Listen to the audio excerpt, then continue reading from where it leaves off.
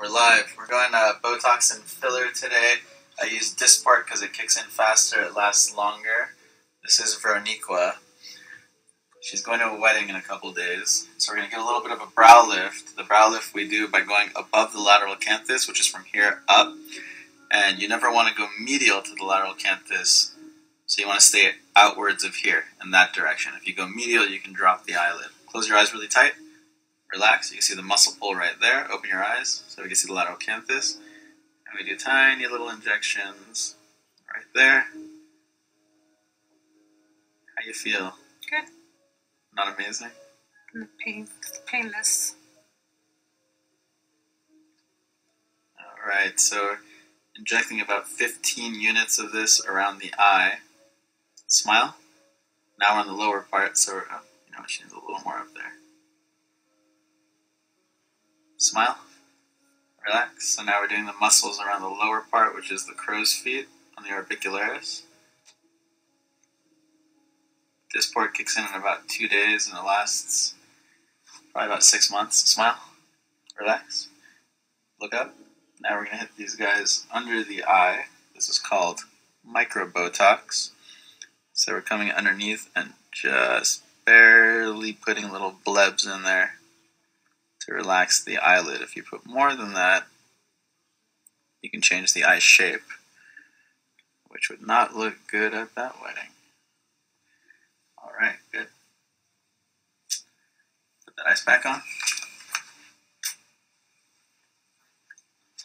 Over the other side, we go matchy matchy. Same thing. You can see these lines that come across in this direction.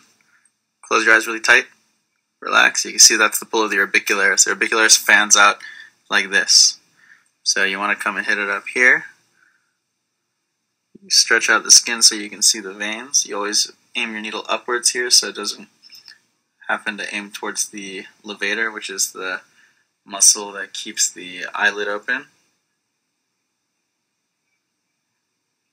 And we do little two unit pushes, but it's kind of up to you how to administer. Smile. Relax.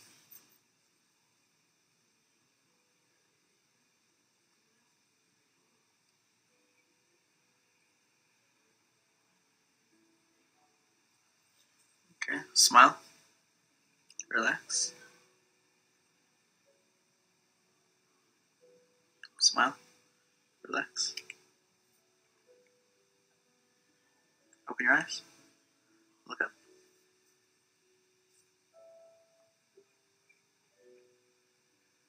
Smile. Relax. Little tiny lines here. Or try to miss those little baby blood vessels. Okay. Put the ice back over here.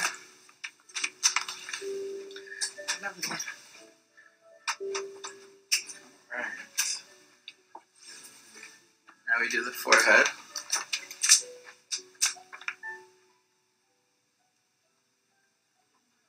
Eyebrows up. So she has a low hairline here. You can't let that fool you. If you come and hit these lines over here, that's going to drop the brow. Relax. Pull up. You see this is where you don't want to hit because that's what's pulling the brow up. So instead we want to hit all the way across here, even up into the hairline here. Lift your eyebrows. Relax. So we're going to start right over here. Eyebrows up. Relax. And we're staying high because we want to give her a brow lift and let the other Botox work better. Eyebrows up, relax. Eyebrows up, relax. And it's always better to go easy on the forehead, eyebrows up, relax, and have someone come back rather than get their brows low. Eyebrows up, relax. Some people are super sensitive to this stuff, and even though their eyebrows don't drop, they feel that their brows are low and you want to avoid even that because then they're unhappy. All right, eyebrows together. Relax. So this is the procerus muscle in the middle. It's a heavier muscle, so you do a larger amount of Botox, or a Dysport in this case. Eyebrows together. Relax. So these are the 11s or the frowning muscles. Okay, hold that there. Good. Now we go to the fillers. fill the under eyes and the cheeks. Feeling real good.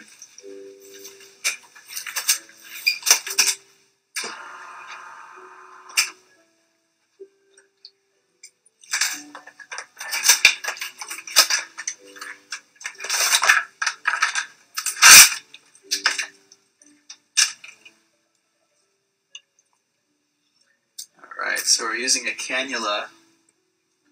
Cannula is a blunt instrument, so it doesn't have a sharp end, so this prevents bruising. Not in everybody, but almost everybody. So first we do a little numbing injection. You can move that stuff down. Let go of that one too. Perfect.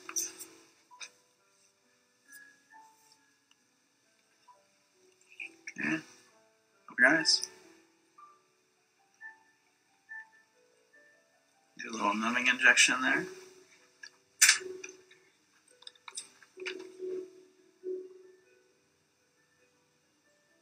Always got to find the hole. Wiggle in, open your eyes. There you go. So you use two hands. You're gonna put your finger right up there on top of the orbital rim. So my eyes, my finger's actually pushing into the eye. So my finger's on the rim, and the cannula is gonna come up in this direction, staying deep. This is uncomfortable, but not sharply painful, and I come right under my finger. So right now I'm using palpation to tell where I'm filling. And I'm gonna move over here. I feel a deficit. I move the cannula back. I push it back up right onto the bone. You want to stay really deep here to avoid irregularities. Get right onto the bone there. And the reason I'm coming out from this part of the cheek is so I avoid bruising and so I don't irritate the nerve that comes out right over here.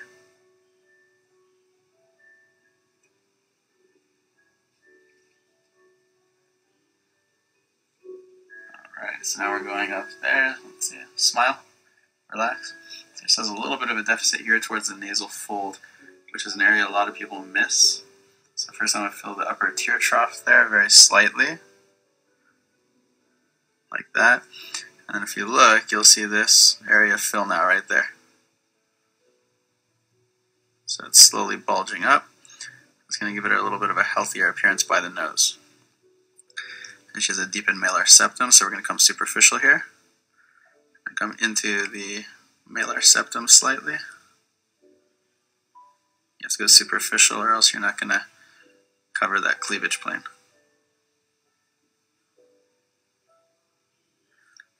Okay, now we massage everything into place. Look up.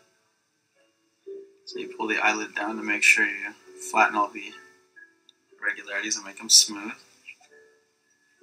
Down. Pull it down. Say close your eyes. You grab that part. You push it flat. Okay. Open your eyes. Good. Now everything's smooth and settled. That's all the massaging. A little extra puffiness, so we just push it down. There, it's gone. You're gonna start feeling some numbness around your eye. Don't be surprised. You feel it? Yeah. Okay. Completely normal.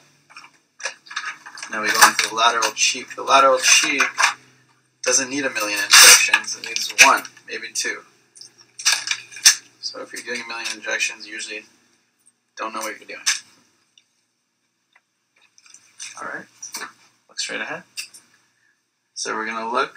What we want to do is bring up the accent right over here. Typically, there's a triangle in the face of contour that comes right down onto here. It gets lighter, lighter, and then it comes back up to the nose and comes across. This is the pyramid that you want to build up. And you always want to build higher first. If you build lower first, you end up weighing down the face, or you get those weird LA cheeks. So we want to go high.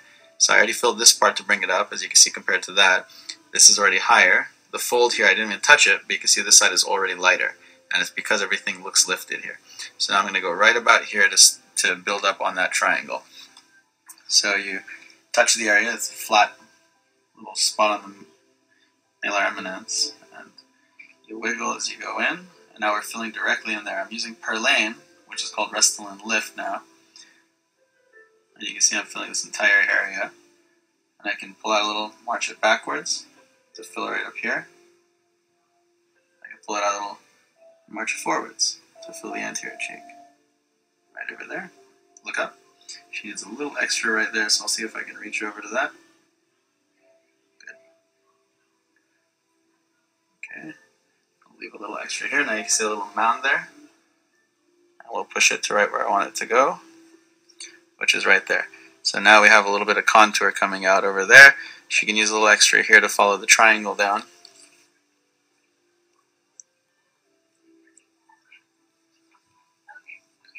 Actually, we'll probably try to pull away from it. So I'll do this part up here. This is an area that's often overfilled and it makes people look bulky. So be very careful with that. Maybe right there. Last part, so shake as you go so it hurts less.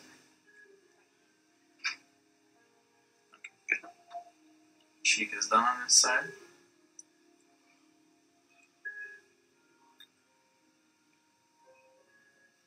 Everything right now is more puffy than it's going to be. So the next part we're going to do is down here. We're going to try to create a better jawline and get rid of some of that shadowing there. Put your eyes back over there just for a sec.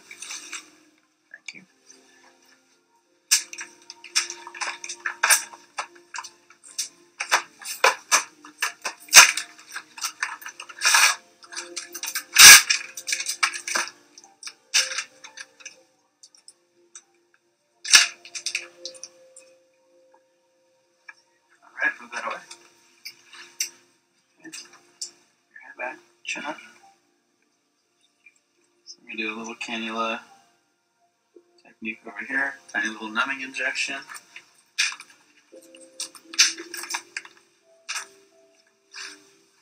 And this part, we pull it up. We have to find the hole. It's right there. You pop right in. This is very important to be superficial. If you're not superficial here, you're wasting your filler. So you come up like that, you're pushing, you're bending in the cannula like that to push it up against the skin. It doesn't bruise, even though there are veins there. It'd be very rare too. It can happen, but it's very rare. And want to be pushing up just against the skin. Same as you would do with uh, Sculptra. You can see I'm injecting as I go back and forth. I'm injecting into the corner of the mouth here to bring the corner of the mouth out, and it can turn a frown upside down. You okay? Yes.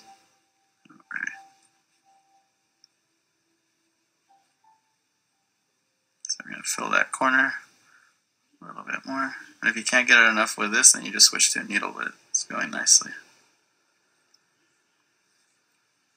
Okay, now we look at the jawline. And we're going to go just right here in front of the prejowl sulcus. Same hole. And the prejowl sulcus is three-dimensional, so you have to and you have to fill inferiorly as well as laterally here. So that's why I go down a little bit into here, and I fill that as well. Open your mouth, close, and now you massage it to smooth it out.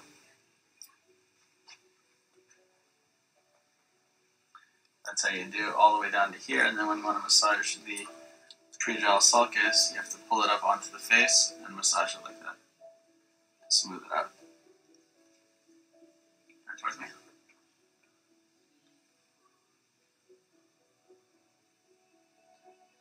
So you can see here, there's an indent on this side, whereas this side is a smoother jawline. Okay, you can see the indent here, and this side is a smoother jawline. This is pushed out, this is indented in slightly. And if you look at the cheek now, you can see that this part of the cheek is flattened. We haven't treated it yet. This part is flattened. This part looks fuller and healthier and comes up there, yet she's not looking cheeky or volumized. Everything is just looking lifted. So now we'll go over and do this side to match it.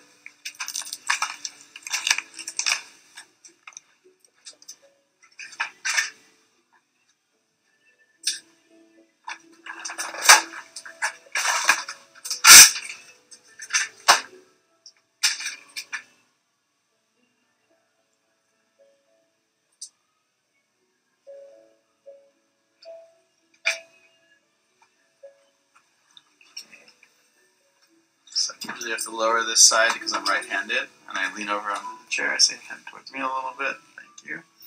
Do a tiny little injection here towards the, let's say, right lower quadrant.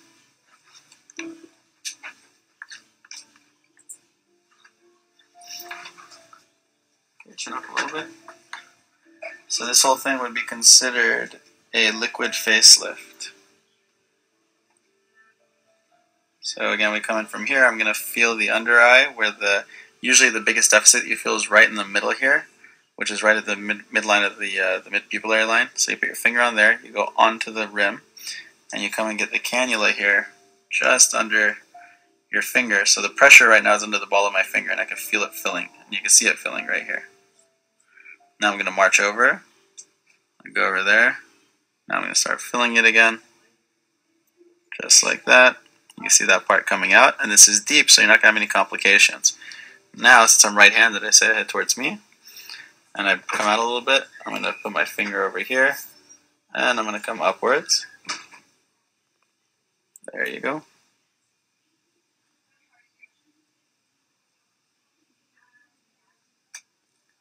Alright, and we're going to keep marching over to fill up on the entire anterior orbital rim, because you have to have it come up to the cheek. The cheek is a three-dimensional structure. The anterior part is the orbital rim. The lateral part is the zygoma. Everybody thinks the cheek is just the side. It's all of it. And so you typically want to fill all of it together. Or else you look like you have one part projected and not the others. And it doesn't look great. So I come up all the way here, up near the lateral canthus, which is the lateral corner of the eye. I'm filling it all the way up in that corner right there. I like to keep my finger on it just so I know exactly where I am and to make sure that the filler doesn't migrate. Okay, so I finished around the eye. Now I'm going to pull back out and go back this direction towards the nasal fold. And because we're using a cannula, there should be no sharp pains. Isn't that right? Mm-hmm. Mm, that's right. That's right. So a little massage, and generally you want to pull down with your finger and then massage upwards towards the eye because you don't want the filler to go inferiorly. That's how you get those teeth are bad. Mm-hmm. So we avoid that by keeping everything up high, and that's why mas- my massages roll upwards. Nasal fold is good. Now we're going to do the lateral cheek just like we did on the other side.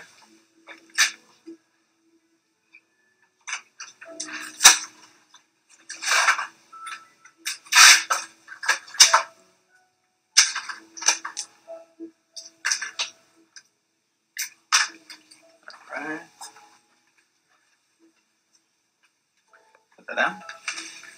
Now we're going to look to go matchy matchy. Now you see the contour is right there. The matching is going to be right here, so I keep my finger on it, come across. Now I pinch, I shake, I get down all the way to the bone, to the malar eminence, right there, and I'm pushing. Now keep in mind, when you hit the bone, this needle gets dull, so you're not going to want to keep piercing the skin with it if you can avoid it. You see everything filling over here now. I'm going to go in that direction towards the anterior cheek, give it some anterior projection. Because people just look at a photo and they think that the photo is all that matters. It's not in real life. You got to look good three dimensionally, not just from the front. Okay, so we've done all that, and you want to mold it in slightly here. You don't want to push too much because you're super periosteal, and that means that if you push too much, it can migrate, and then you just lost all your stuff. Look up. So you got a nice contour there. Look towards me a little bit. Still can use a little more right up there, so you do a little squeeze. You just dump it in. So that's it. That's that part. Now we're going to finish up with the jawline here.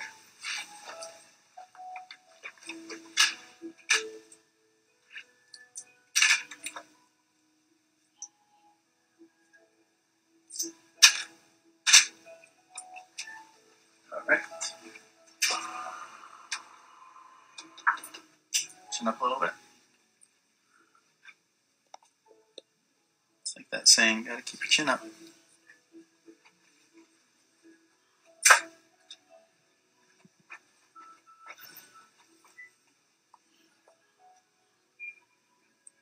And Tony's here from Montreal videotaping. Tony's single, in case anybody's wondering. And he works out. Veronica, stop looking at him like that.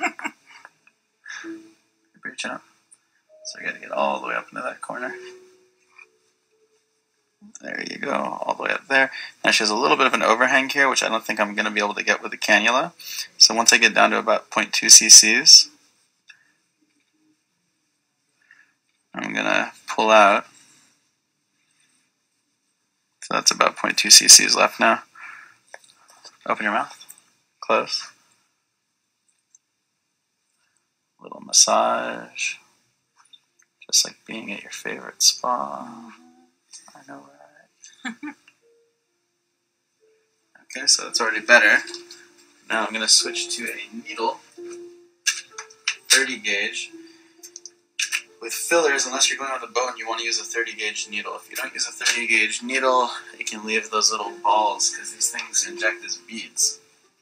So we already turned this up a little bit. Now we're going to go for a little bit more. So you stretch it out. You always want to stay on the lower side. Okay, so veer this way as opposed to that way. If you go that way, you're going to end up making it worse. Sometimes you have to actually inject the lip to get this to come out a little bit.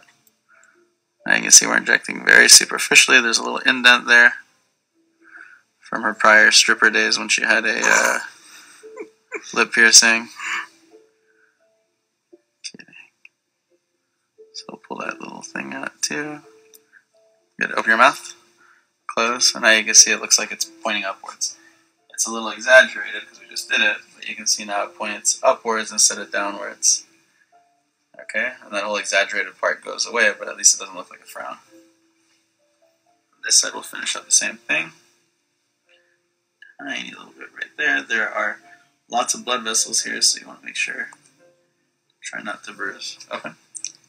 Close. Alright, now we're just going to do one more vial for shits and giggles, making it even six. Why not, right? I like to make a mess. Can you tell? No, super clean. Alright. So the thing that stands out to me is we didn't finish this part, which is planned. So we're gonna have to come right along here. We grab the skin, get right under the skin here. I'm gonna come forward and fill right here. Now you can see it migrating in the wrong direction, so we stop and we move forward to where we want it to go. Just like that. So I just dumped half a vial in that one little area. Now we gotta massage it around to make it smooth. So if you lift it up, you'll see it's all here. Because again, the prejowl is a three-dimensional area. This cheek was up here. As it comes down, it droops inferiorly, and it has that anterior droop that follows along here. So to fill it, you have to fill three dimension or two dimensionally. One in this dimension and one inferiorly. So that's all the filler. Now we massage into place against the jaw. You do a couple pushes and you'll feel the thing kind of squirt under your fingers. Just want to make sure it's smooth. And now you can see that's a smoother jawline already.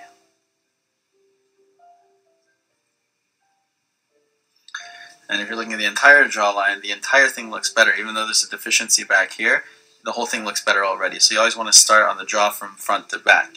If you start on the back, on the angle, and try to get rid of the, the jowl by filling behind it, you're going to use three fillers just to get that area. It's not very high yield.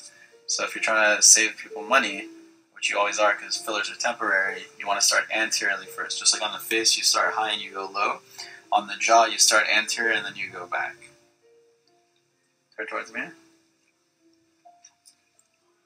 That's okay over there. Okay, so you can already see the nasal folds. They're much better than they were when we started, and that's we didn't even touch them. It's better because we filled above them, and that draws light away from it. Still, we're going to go into the little triangle in the corner and give a slight bit of softening over there. The reason you don't want to start with these is because we don't want to look like a monkey. And when you end up filling these folds without filling the top first, you weigh down the face and you get rid of that fold, that definition between the lip and the cheek. And people look like monkeys.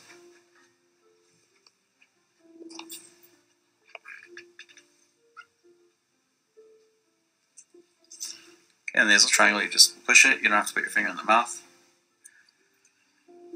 And that's it.